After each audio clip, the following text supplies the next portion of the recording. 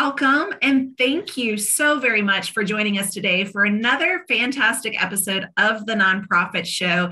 When you see this yellow, you know that it's special. This is a nonprofit thought leader episode. So we have Anne McAuley Lopez joining us today. Anne is the SEO content writer with Agency Content Writer. It's a lot to say right there, but you've got a lot to say during our episode as we talk about does an NPO need SEO? And so that's something we're going to dive in and pick Anne's brain. So before we do that, we, of course, want to make sure that you know who we are if we haven't quite met you yet.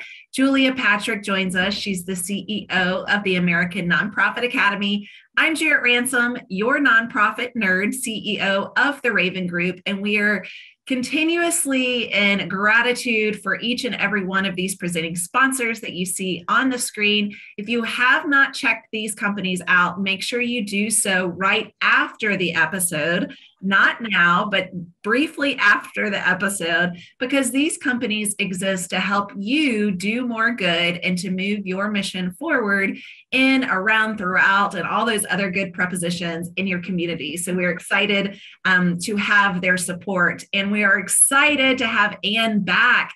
Anne, welcome, and thanks for joining us today. Thank you. Thank you for having me back. It's great to see you both.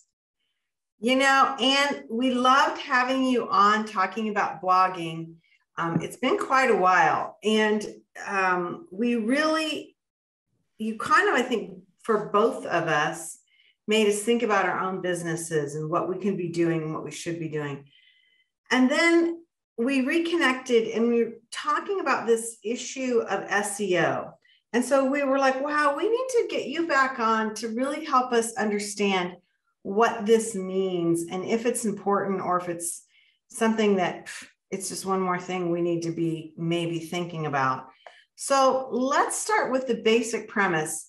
I think we all know what we think we know what SEO is, but what is it really? SEO stands for search engine optimization. And really, it's how well is your website found on search engines like Google? Um, for nonprofits, it, does it make sense to, you know, we're talking about, does it make sense to have SEO to invest in that?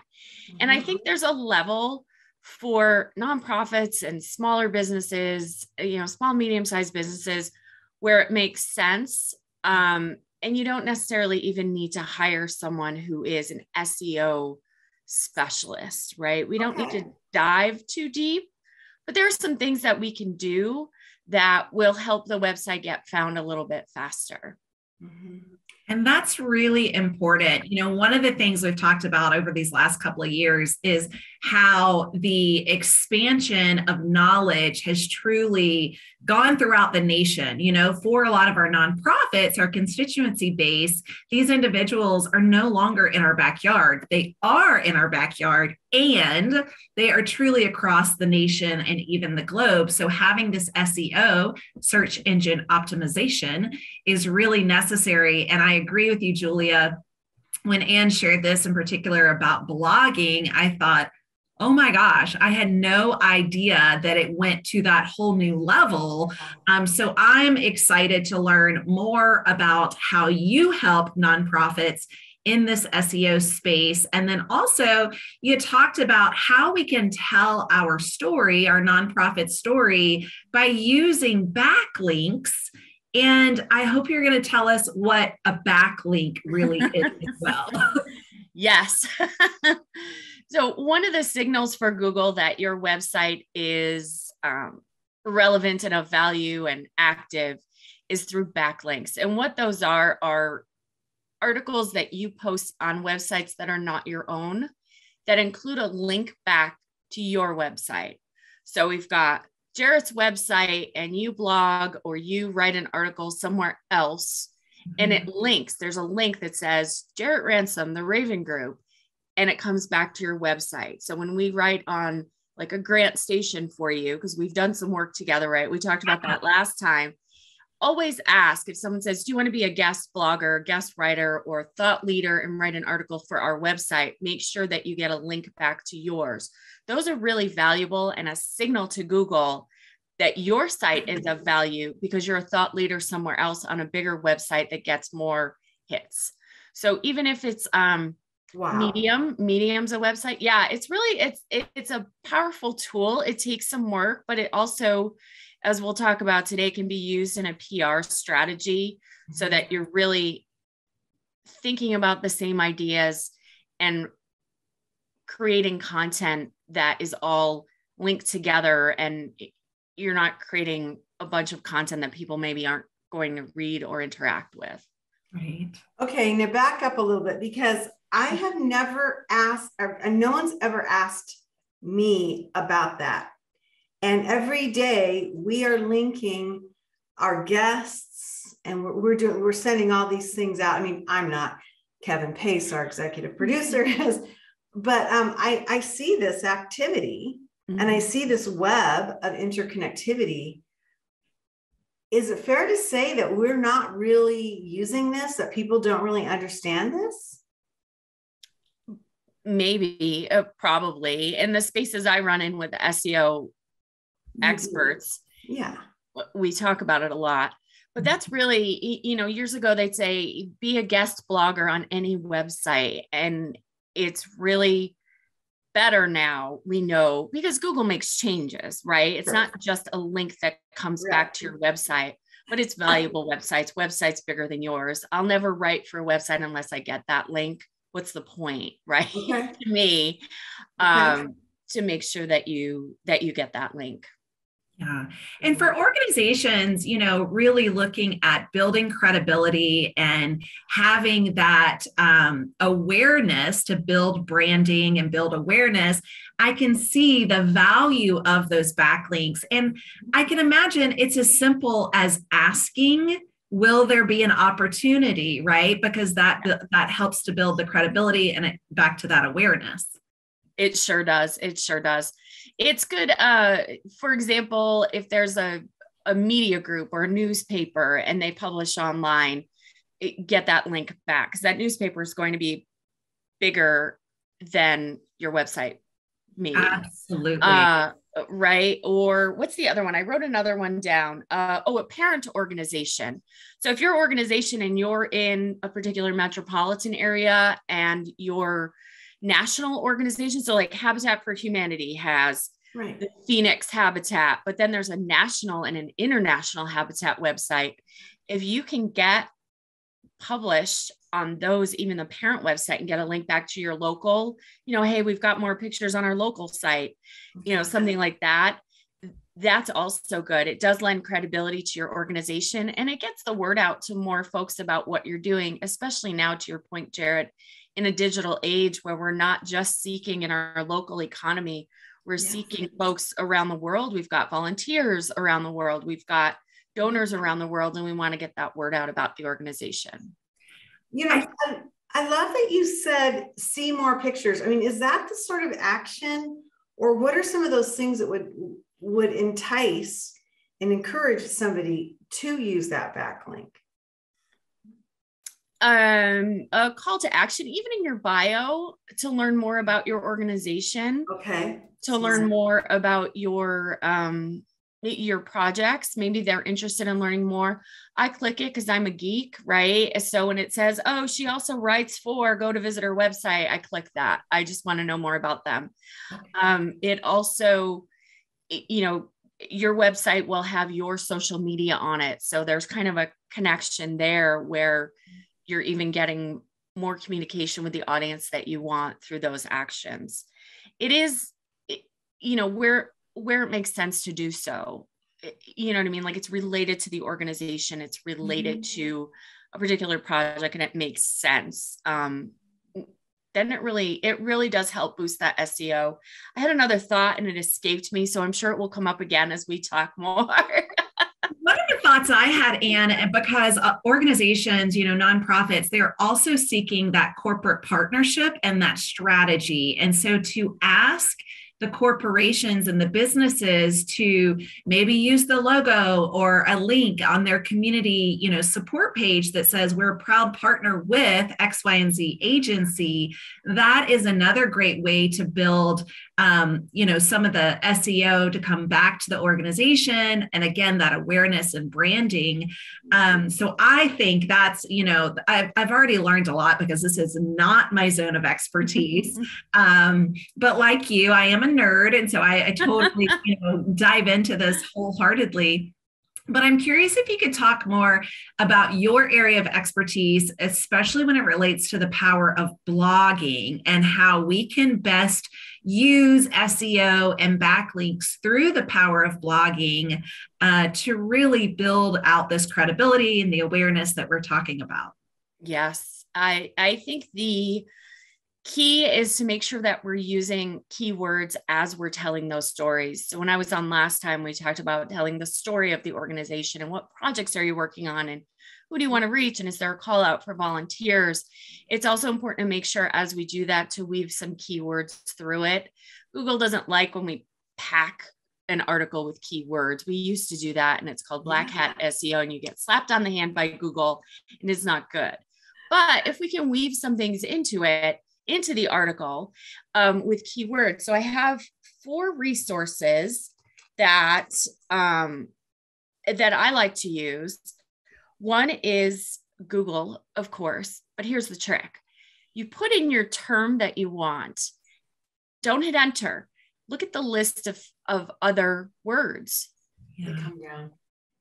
Right. So um, it's fun to you pick mm-hmm. anything and do it and sometimes it'll give you a laugh but for research purposes and for what we're talking about today yeah. don't hit enter when you do hit enter you'll come up with some similar articles and there's another section called people also ask yeah. so when you do a google search you've noticed that that i really use for blog post ideas i shouldn't say that out loud that's a little secret i have but it's the other questions that people are asking that are related to the main idea that you've Googled.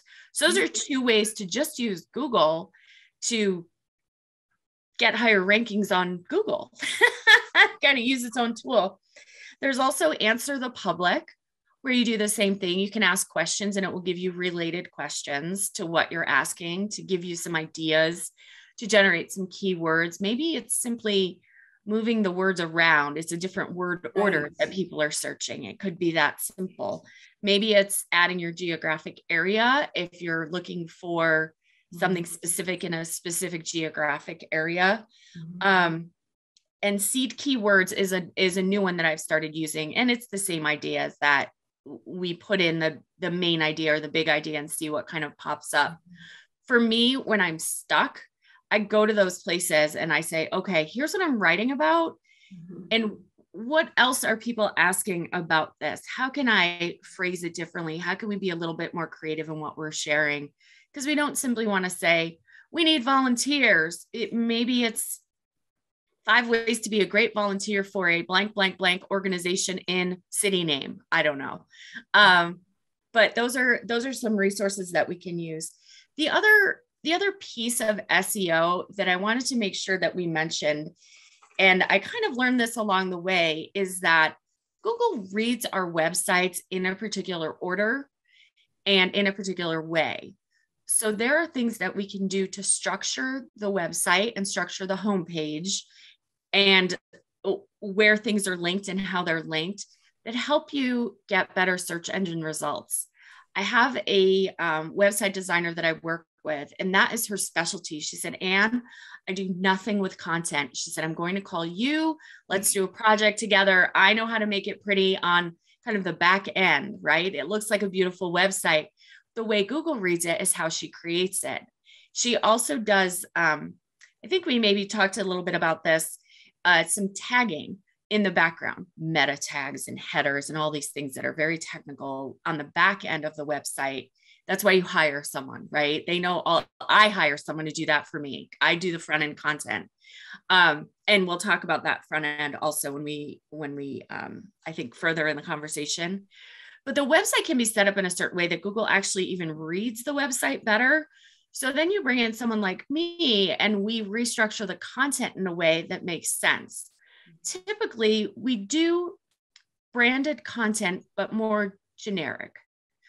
And then within the blog, what we do is is get more specific. yeah, we down. want to talk about a specific project, a specific call to action. And we create that strategy plan that we talked about last time Mhm. and leave room for other things that happen, obviously, throughout the year, especially for nonprofits where it's a moving target, right? Like we don't know what's going to happen. Last year, good example. Yeah. The last two years, good example. yeah. My- oh, yeah. It is two years now, isn't it? Oh, Yes, my gosh. time flies. My brain is on fire, or as as Julie would say, her hair is on fire.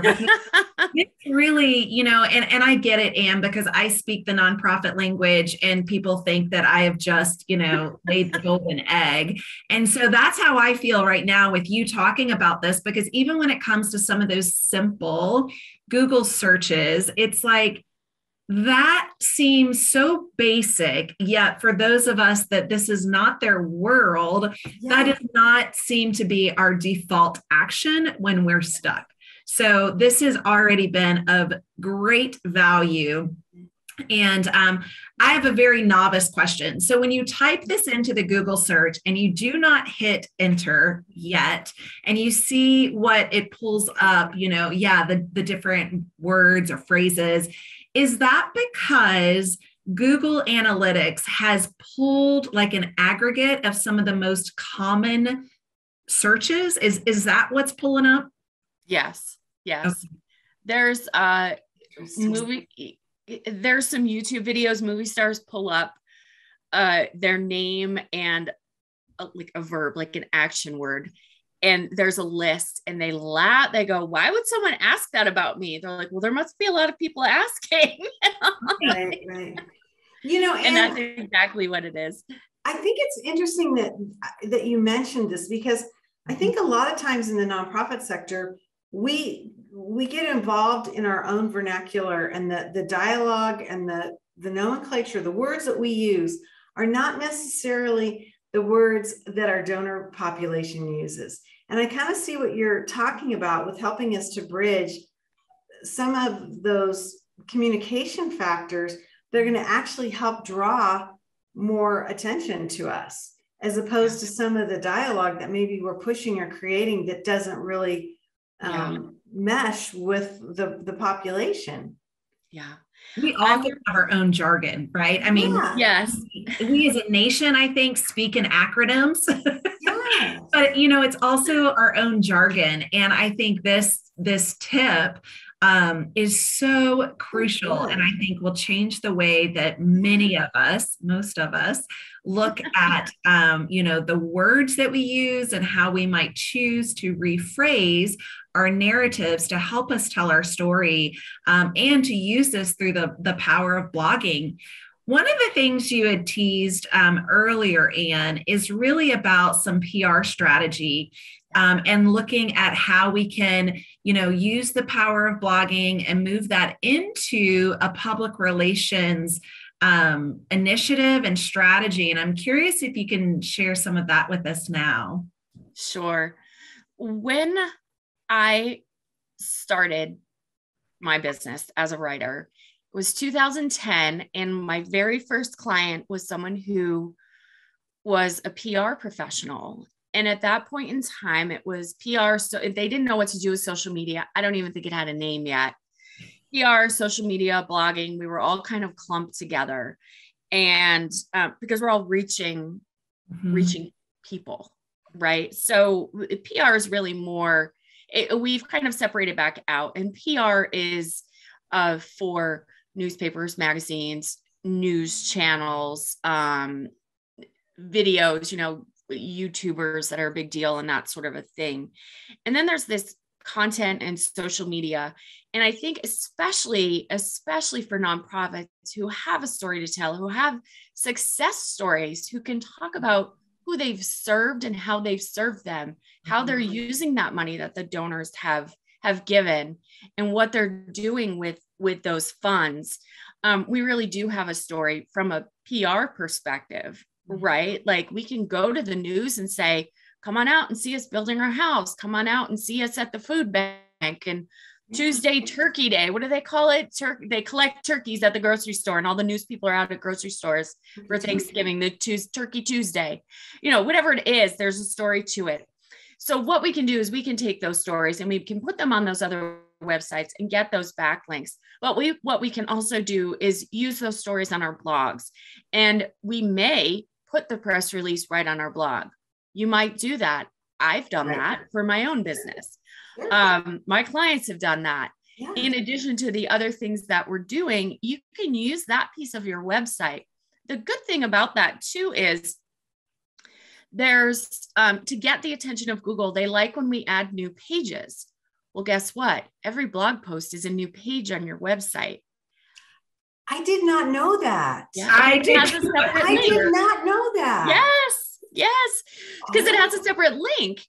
So, and so when we say add pages to your website, people think they have to have a page for each service. Now, yeah. some places that makes sense. If you're launching a new, um, a new campaign, that absolutely makes sense to do that. But it also makes sense to be adding articles, blog posts on the website because it's a new page and Google loves when we add new content. Loves when we change the content on an existing page and it loves when we add new content. So I think there's some some strategy there that we can utilize. And that way we're talking about Turkey Tuesday and we're putting it out on one big news website, but we're also utilizing it on our own to talk about the success of that project. And I use Turkey Tuesday because it's November, right? I think it's too, it's it's getting creative. You know, we get stuck in the weeds of our own organizations and we don't see the possibilities. Yeah. And so that's a way that we can repurpose content kind of creatively and strategically in addition to whatever we're doing on a consistent basis. Mm-hmm. Um, what was I did it again? well, let me else to that. Let me inter- let me interrupt you again. When you when you say this, which I love this idea, but can you give me a framework for time? Is this like something that we should be doing like every day, every week, every month, every quarter? What does that if you don't mind me saying, workload look like? Yeah. Because that's yeah. where I get caught up. I, here's the thing consistency is what is consistent for your organization. Okay. So, most of the folks that I work with, we're doing two articles a month. Okay. Most of them. We're not doing huge SEO strategies get us number one on Google, which is ridiculous, by the way. Um, we're doing. Pro tip. I love those. Yeah, pro tip. um, we're we're doing things to get us consistently seen and get us. Eh, you know, we've got original content. We can share it on social and our newsletters. We can make a video about it. You know, all those things. So whatever's consistent, whatever your organization can do consistently. What I would suggest, especially for a nonprofit, and especially because there are seasons when it's busier or there's a season of fundraising or yeah. a season of a particular project kickoff and final reveal or or whatever yeah. um, that we leave enough space in that plan okay. so that we can drop those special events so maybe it's once a month maybe it is two a month during the busy seasons where we know we have maybe an educational piece that maybe it's hired out. Maybe you hire somebody to write that piece and then somebody else writes the PR piece or the event piece. Um, I don't think it needs to be a lot. I think it has to be, it's more that it's consistent um, in whatever whatever way you can do that. Um, yeah and that's and then you can share it out to those other places that we talk about i'm so glad that you mentioned kind of those seasons because as i think about you know the end of the year and that's where we are then this is a very busy fundraising season more than 30% of operating dollars come in in these in this final quarter of the year. And so that's exactly, you know, this is the season of giving. It's really hectic in fundraising, but another really big season, honestly, is an event season, right? And that, of course, has been shaken and stirred in all kinds of ways over the last couple of years. Uh, but looking at the event season as well as you know this final push for fundraising at the end of the year there's a lot to be said and a lot of other noise, because we also talk about 1.8 million nonprofits are registered throughout the states, um, the states, plural, the yes. US. And so there's a lot of organizations out there that are also vying for attention and vying for donations and vying for you know volunteerism so there's a lot going on but i really think looking at this power of blogging looking at the backlinks and the seo which is really what we started with is what exactly is SEO and how do we as an organization keep our finger on the pulse when it comes to all of the moving targets um, i'm so glad to know that you know, uh, geeks, as you called yourself, and exist in this world for for this type of work. Um, so yeah, Julia, I think you you had something you were going to say as well because I'm just a little dumbfounded. Well, I think the thing of it is, is that um, I appreciate that you linked how this works together because mm-hmm. it is kind of a mystery. But the other thing too, and I don't know about you, Jarrett, I feel like what Anne has shared is very achievable. You know, I mean, if she's like, yeah, you've got to get a new post up every day or every three days or you're sunk, that is just like, oh, you know. But I liked what you what you gave me was almost something that it's okay, I can add that to my plate. Yeah. Or sometimes these things are just so overwhelming that it's like that's never going to happen.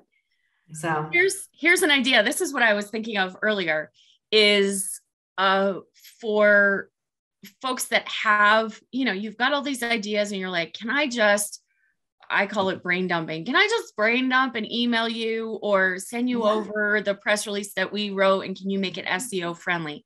Absolutely. Mm-hmm. That is something that I do with my clients that I'd be happy to do with nonprofits. And that way you get a little bit of boost. Yes, we're telling the story. Yes, we're telling the news. We make it a little bit different, right? Because Google mm-hmm. likes to see it different on different sites, about 30% different. So wow. we judge it. You know, I love the word judge. Mm-hmm. And we add those keywords in so that we can add it to your website. So it attracts folks to your website in addition to the backlinks and social media and newsletters and all the things. And we can do that. Uh, you know, you can do that pretty simply uh, just having somebody on board. I don't think you, I really don't think for nonprofits, especially given what's happened in the world and everything that's happening, everyone's strapped, right? For for what do you spend your money on? So it's a way, or what I was going to say was, you don't need to hire the SEO people to say, "Oh no, we can do this. We'll figure out what these words cost on the Google." No, we don't need to do that. Big brands need to do that big, big brands who have a lot of traffic can afford to do that. For us folks that are going, listen, we're doing a really good thing out in the world. We want more people to know about it. We can make that website readable by Google and add content consistently so that it keeps Google's attention. I love it. Well, um, I want to point out that you have this fabulous blog article on your site agencycontentwriter.com and and i'm showing the, the card on it. Seo is a pr strategy. It's really really a great article and especially if you've watched this episode today and then you need to take this back to leadership or someone in your team and try and explain why you need to be doing this. I loved loved this article and um, i really want to recommend it. Again you can go to anne's uh, website agencycontentwriter.com and check it out because it's really well done. Here's Anne's information. Check her out. Um, I love your energy. I love your integrity. I always feel like you're not trying to sell us something that we're going to have to cut out from our budget elsewhere, that you're, you're giving us ideas and strategies that we can do. We might need to bring somebody in, we might need to get some help, but they're not just so overwhelming that they they sound you know fantastical. So check out anne's information. Again julia patrick here with you today alongside my uh, trusted nonprofit nerd. I always like to say she's my nonprofit nerd. She's also your nonprofit nerd. I like to say there's nerd. enough to go around in this nerd brain so well, and we are glad for that. Jarrett Ransom, CEO of the Raven Group. Again, we want to thank all of our sponsors. Without you, we would not be here. We're very excited. We added a new sponsor this month, Your Part Time Controller. So, yay, team, on that. again, this has been the nonprofit show. And Jarrett, this is like got me looking at the website that we that we run in a different especially way. Especially these backlinks. Yeah. yeah. Yeah. I think it's really cool. I'm just thrilled. Hey, everybody, this has been great. And thank you so much for sharing your knowledge. You really are a nonprofit thought leader, and we are delighted to say that you're um, somebody that we work with. Uh, we have you back on next month, if I'm not mistaken. And so um, look for that because we'll get more of Anne's genius. Hey, in the meantime, we like to end every episode with our mantra stay well so you can do well. We'll see you back here tomorrow, everyone. Thanks so much.